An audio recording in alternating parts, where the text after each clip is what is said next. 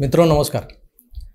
गो ब्राह्मण प्रतिपालक हिंदवी स्वराज्य संस्थापक हिंदूपत पातशाहीचे जनक छत्रपती शिवाजी महाराज यांची आज जयंती. त्या जयंतीनिमित्त महाराजांना शतशा प्रणाम मानाचा मुजरा आणि तुम्हाला या शिवजयंतीच्या हार्दिक शुभेच्छा.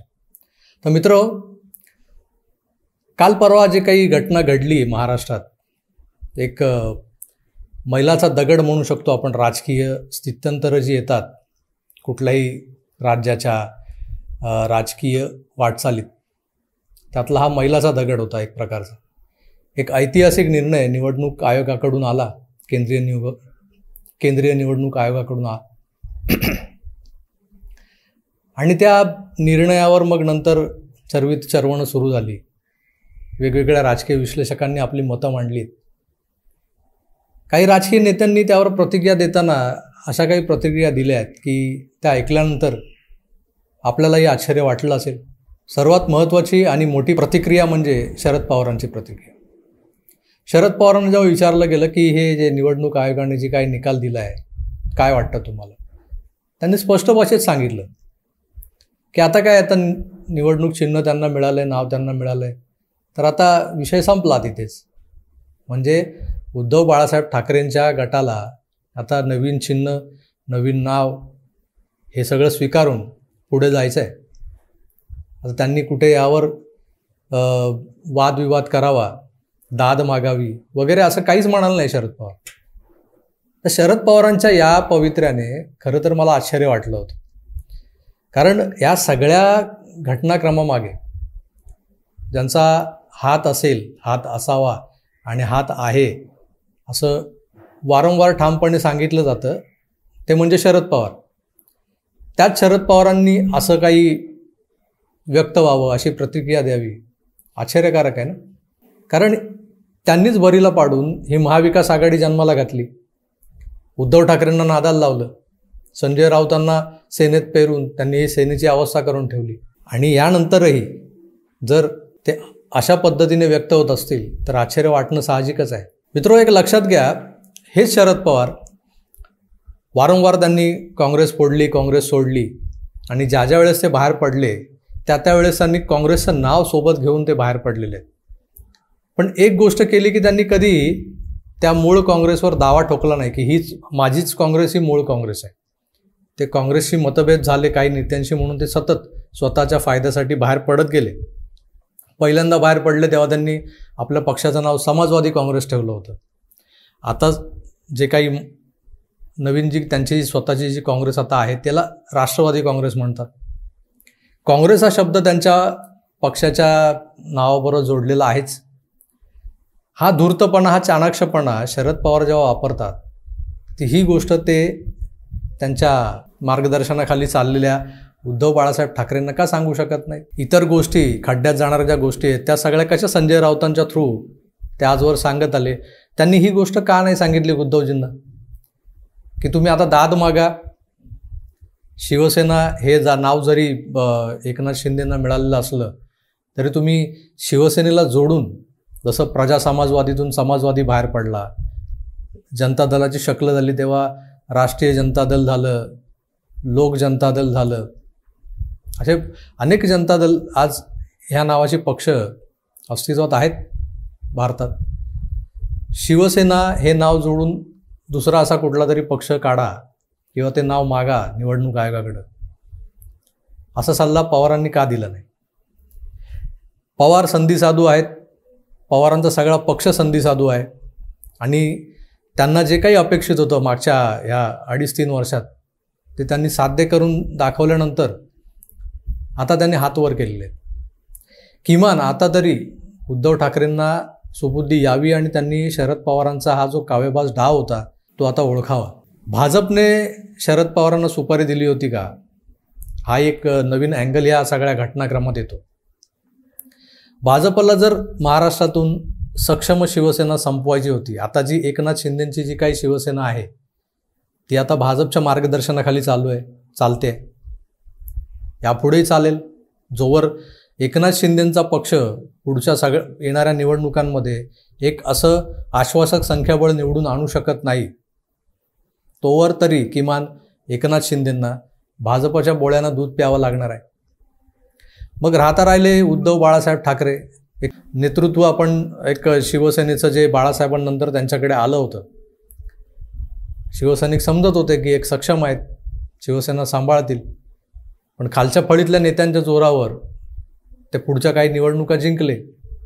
भाजपासारख्या मोठ्या रा राष्ट्रीय पक्षाला त्यांनी वेळोवेळी तोंड दिलं त्याचा सामना केला.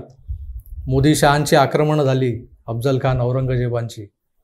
त्यावेळेला त्यांना त्या आक्रमणांना थोपवलं उद्धवजींनी. पण आता काय? ही जी काही परिस्थिती निर्माण झाली आहे त्या परिस्थितीचं जर आपण सिंहावलोकन केलं आजचा जो क्षण आहे आणि त्याच्या आधी ज्या घडलेल्या घटना आहेत म्हणजे अगदी क्रोनॉलॉजी बघितली आपण तर त्या वीस जूनपासून एकवीस जूनपासून जे जो घटनाक्रम आपल्या डोळ्यासमोर येतो.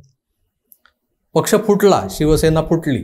पहिले पंधरा सोळा आमदार गेले नंतर मागोमाग चाळीस आमदार गेले त्यांच्याबरोबर दहा अपक्षही गेले. हा जो मोठा गट गेला या गटाला जर विधान भवनात सभागृहात बसायचं असेल तर त्यांना कुठल्या तरी पक्षात विलिनीकरण करून घ्यावं लागेल विलीन व्हावं लागेल असा एक प्रवाद होता. सगळेच जे घंटातज्ञ होते घटनातज्ञ आपले ते हेच सांगत होते की हा जो काही गट आहे याला स्वतंत्र अस्तित्व नाही. याला एकतर भाजपात विलीन व्हावं लागेल दुसरा पर्याय होता प्रहारमध्ये जी बच्चू कडूंची संघटना आहे त्याचे दोन आमदार आहेत. बच्चू कडू यांच्यासोबत असल्यामुळे त्यांच्या पक्षात विलीनीकरण करून घ्यावं लागेल. नंतर एक प्रवाद असा आला की मनसेत विलीनीकरण करून घ्या. मनसेचा एक आमदार आहे राजू पाटील. पण ह्या सगळ्या ज्या शक्य शक्यता होत्या त्यांना टाळून केंद्रात बसलेल्या चाणक्यांनी एकनाथ शिंदेंना भरीस पाडलं की तुम्ही दावा करा की मी जी संघटना फोडून बाहेर पडलो आहे माझ्याबरोबर जी स्ट्रेंथ आहे माझ्याकडे जे संख्याबळ आहे ते जे लोक आहेत तीच खरी शिवसेना आहे. आता जे काही उरलेत पंधरा सोळा आमदार आणि जी काही उरली सुरली शिल्लक सेना आहे ती शिल्लक सेना आहे. तिला शिवसेना मानू नये. आणि हा जो दावा पहिल्या दिवसापासून एकनाथ शिंदे करत निघाले पुढे आणि त्यांनी तो अद्भुत चमत्कार घडवून दाखवला महाराष्ट्राच्या राजकारणात की पुढे जाऊन निवडणूक आयोगाला मान्य करावं लागलं की हे एकनाथ शिंदेचा जो गट आहे तीच खरी शिवसेना आहे आणि त्यांना ते नाव आणि निवडणूक चिन्ह धनुष्यबाण द्यावं लागलं. मित्रो ह्यामागे फार मोठी शक्ती कार्यरत होती हे आपण पहिल्या दिवसापासून मान्य करत आलो आहोत. पण विचार करा हा जो काही राजकारणाचा खेळ आहे बुद्धिचातुर्याचा खेळ म्हट म्हटला जातो मांडला जातो. यात उद्धव ठाकरे आणि त्यांचा जो काही गट आहे त्यांचे जे काही मातोश्रीवर बसणारे भालदार चोपदार आहेत ते अक्षरशः नापास झाले फेल ठरले हे मान्य करावं लागेल. त्या तुलनेत एकनाथ शिंदेंकडे जी काही लोकं आहेत भले ती भाजपा पुरस्कृत असू द्यात किंवा ती भाजपाचीच माणसं असू द्यात पण त्यांच्या बुद्धिचातुर्याला सालाम करावाच लागेल आपल्याला. त्यांनी अगदी मायन्युटली या सगळ्या गोष्टींचं अभ्यास करून अगदी बारकाईने अभ्यास करून गड जिंकला. नावही घेतलं पक्षचिन्हही घेतलं. मित्र हे जो काही करतो जो जिंकतो आपण म्हणतो ना जो जिता होई सिकंदर. आता हे हारकर जितनेवाले को बाजीगर कहते वगैरे ते नंतरच्या गोष्टी आहेत. आता हा बाजीगर कोण असेल? किंवा हा बाजीगर येईल का भविष्यात? हे सगळं पुढच्या गोष्टी आहेत. पण जो जिंकला त्याला सिकंदर म्हणावंच लागेल त्याला सलाम करावाच लागेल. या सगळ्या बाबींचा विचार करत असताना आपल्याला शिवसेना पक्ष फुटीचाही विचार करावा लागेल. पक्ष कसा फुटत गेला? उद्धव ठाकरेंचं नेतृत्व का नाकारलं गेलं? एक एक एक एक करत लोक त्यांच्या विरोधात का उभे राहत गेले? त्यांच्या नेतृत्वावर टीका का होत गेली? याचाही विचार करायला हवा. कारण ते बाळासाहेबांची जी शिवसेना होती ही महाराष्ट्रातल्या सगळ्याच पक्षांपेक्षा राजकीय पक्षांपेक्षा आणि इतर संघटनांपेक्षा एक वेगळी संघटना होती. म्हणून तिथे तरुण आकृष्ट व्हायचा मराठी माणूस आक आकर्षित व्हायचा. आपल्या खिशातला सव्वा रुपयाचा वडापाव खाऊन पोस्टर ढकवणारे लोक भिंती रंगवणारे लोक काय यायचे शिवसेनेत? त्यामागे एक वेगळी धारणा होती एक विचारधारा होती. ती विचारधारा हळूहळू करत करत करत करत उद्धव ठाकरेंनी संपवत नेली. बाळासाहेबांच्या हिंदुत्ववादाला नवहिंदुत्ववादाची किनार जोडता जोडता त्याच्यावर अख्खा मुलामा चढवायला निघाले ते. अख्खा बरबटवून टाकला पक्ष त्यांनी त्यांच्या नवहिंदुत्ववाद्यांनी आणि कसलं नवहिंदुत्ववाद हा? जनाब बाळासाहेब ठाकरे. हा नव हिंदुत्ववाद होता. आणि त्यातला फोलपणा लोकांच्या लक्षात येत गेला शिवसैनिकांच्या लक्षात येत गेला. तसे तसे एक एक एक एक करत लोक लांब होत गेले यांच्यापासून. आणि त्याचं पर्यावसान असं झालं की फुटली. एक दिवस असा आला की संघटना फुटली. आज आपण पाहतोय मागच्या एक दोन दिवसात निकाल लागल्यापासून. मी म्हणालो होतो ना कुंपणावर बसलेले जे नगरसेवक आहेत माझे नगरसेवक पाटापाटा उड्या मारतील. चाळीस पन्नास नगरसेवक अप्रोच झालेत एकनाथ शिंदेनं. एक गठ्ठा. मित्रो हीच खरी गोम आहे या सगळ्या घटनाक्रमामागे. उद्धव ठाकरेंनी स्वतःच्या हाताने शिवसेना प्रमुखांनी कितीतरी कष्ट उपसत घाम गाळून वेळ प्रसंगी तुरुंगात जाऊन हाणामाऱ्या करत ही जी संघटना उभी केली होती ती संघटना हातशी घालवली त्यांनी. आज आपण एकनाथ शिंदेंचं नेतृत्व आणि त्यांची नेतृत्व क्षमता त्यांचं कौशल्य सिद्ध व्हायचं आहे अजून. ते शिवसेना चालवू शकतील का पुढे सक्षमपणे वगैरे ते नंतरची गोष्ट आहे. पण आज जे दिसतंय आपल्याला जे काही झालं आहे त्यातून एकच गोष्ट लक्षात येते की या सगळ्या गोष्टींच्या मागे या सगळ्या घडामोडींच्या मागे जशी भाजपाची एक शक्ती कार्यरत होती ज्याला महाशक्ती महाशक्ती आपण असं म्हणतोय ती मदतनीस होती एकनाथ शिंदेसाठी. पण एक शक्ती अशी कार्यरत होती जी शिवसेनेला आणि उद्धव ठाकरेंना सतत डॅमेज करत होती. इंटरनली डॅमेज करत होती. आणि ती शक्ती होती शरद पवारांची. तर शरद पवारांना मगाशी जसं म्हणाल तशी भाजपाने सुपारी दिली होती का? हा एक मोठा संशोधनाचा विषय आहे. कालांतराने कदाचित क कुठल्या तरी एखाद्या जाहीर सभेत शरद पवार सांगूनही टाकतील की मला होय मला सुपारी दिली होती भाजपाने. तसं त्यांनी मागे म ते जाहीरपणे सांगितलं होतं की मीच शिवसेना भाजपाच्या युतीमध्ये मिठाचा खडा टाकला होता. ते वेगळे व्हावे त्यासाठी मीच प्रयत्न केले होते. म्हणूनच आम्ही भाजपाला न मागता पाठिंबा दिला होता दोन हजार चौदा साली. असे गौप्यस्फोट होत राहतील. शरद पवार कधीतरी कबूल करतील की होय मी सुपारी घेतली होती. ही सुपारी अखेर वाजली. शिवसेना फुटली. फुटल्यानंतर ती भारतीय जनता पक्षाला जशी हवी होती ज्या पद्धतीने हवी होती ठाकरेंच्या विरहित शिवसेना हवी होती ती आज त्यांना मिळाली आहे. त्यांच्या दावणीला बांधली गेलेली आहे असं आपण म्हणू शकतो.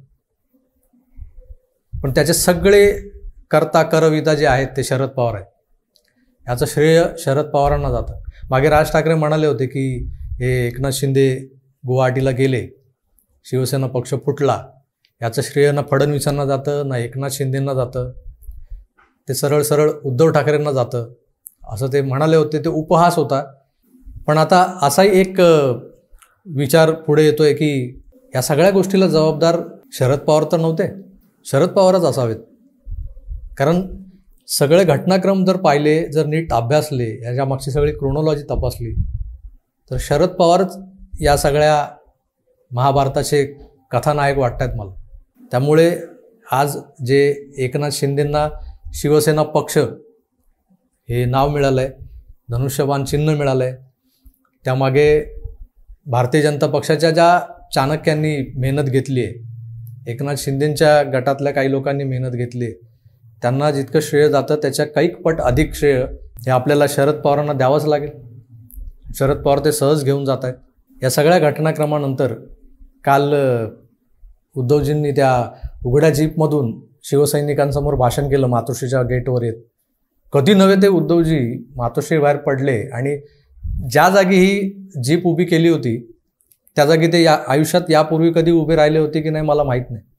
पण त्यांनी काल एक अपरिहार्यता म्हणा वेळ आली बाका तिथं देव करी काय हो तसं हा अडला नारायण काल जीपवर चढला आणि त्याने भाषण केलं.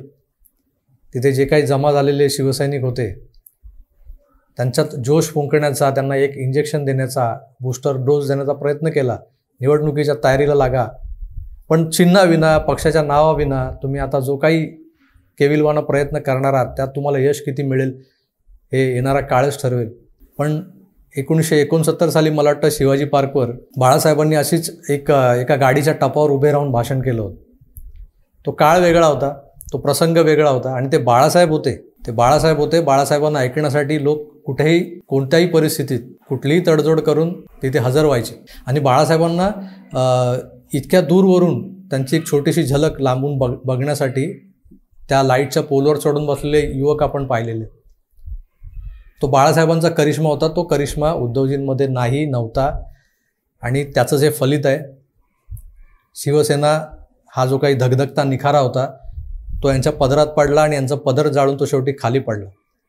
यात एक समाधानाची बाब म्हणजे एक सल मनात होती बरेच दिवस की कदाचित या सगळ्या सुंदोपसुंदीमध्ये शिवसेना हे जे नाव आहे ते निवडणूक आयोग गोठवून टाकेल. धनुष्यबाण हे चिन्ह निवडणूक आयोग गोठवून टाकेल. ना तुला ना मला पडू दे बासणात अशी अवस्था होईल. पण तसं झालं नाही. हे नाव हे चिन्ह कुणाला तरी मिळाले? आज ती बाळासाहेबांची जी शिवसेना आहे त्यांनी जे पक्षचिन्ह जे त्यांनी इतके दिवस लोकांसमोर उभं केलं होतं मांडलं होतं त्याच्या आधारे काही निवडणुका जिंकल्या होत्या महाराष्ट्रात सत्ता आणली होती. ते पक्षचिन्हच कुठल्या तरी गटाकडे आहे याचं समाधान आहे.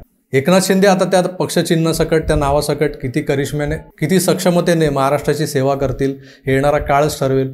पण आज जे झालं आहे जे घडून गेलं आहे त्याचे करते करविता त्याचा मॅन ऑफ द मॅच जे काही असेल ते शरद पवार होते हे मान्य करावं लागेल.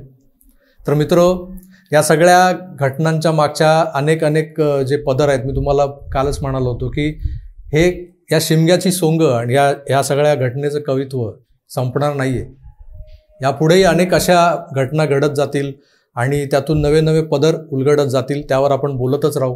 तुर्तास सांगतो पुन्हा भेटणार आहोतच. तोवर आपली काळजी घ्या आणि आकार डीजी नाही धन्यवाद नमस्कार.